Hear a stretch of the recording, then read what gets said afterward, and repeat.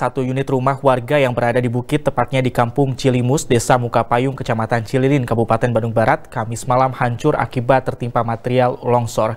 Untuk membersihkan longsoran, pihak TNI Polri yang terjun ke lapangan pun ikut membantu warga.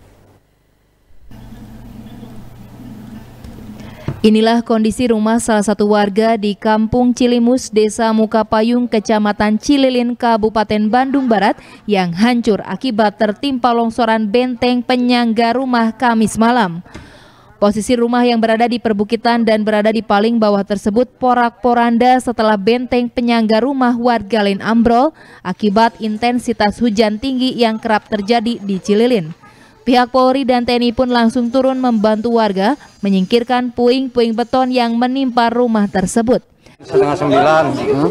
mulainya saya ke bawah dengan anak tiga, udah retak-retak semua, gorosan sampai tadi bunyeng ke sana, sampai saya di bunyeng-bunyeng ke sana, langsung ke atas saya menerin terpal, udah keburu, langsung ngebur Menimpa apa?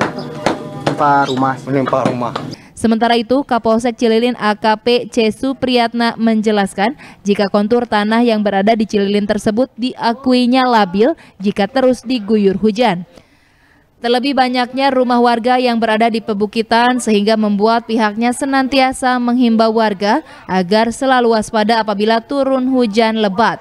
Hingga saat ini peristiwa longsor di Cililin pun sudah terjadi di lima titik. Ini sebetulnya struktur tanah di wilayah Cililin ini adalah sangat gembur dan labil.